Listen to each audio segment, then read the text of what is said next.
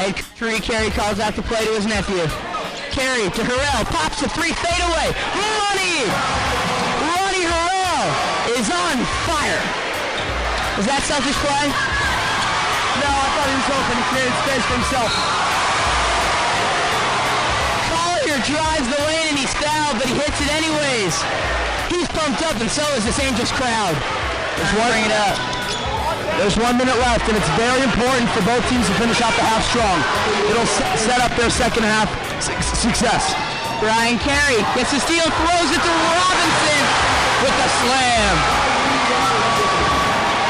Angels lead 41-26, 48 seconds to go here in the first. Stolen by Griffin. Griffin drives, throws to Collier, who lays it in. Great transition by the Angels there. That's going to help them a lot in the second half. Checking into the game, Kendrick Kelly. They replace Brian Carey. Collier with the steal. Drives the lane, lays it up and in.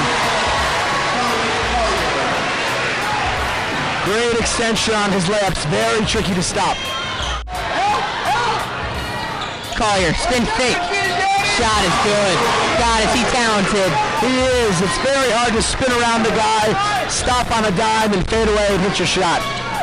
Carey, five seconds. Four, three, two, Harrell for three at the buzzer. It's good. Oh, was from another zip code. Stewart. Pass is deflected and stolen by Griffin. Griffin drives, switches sides and lays it in.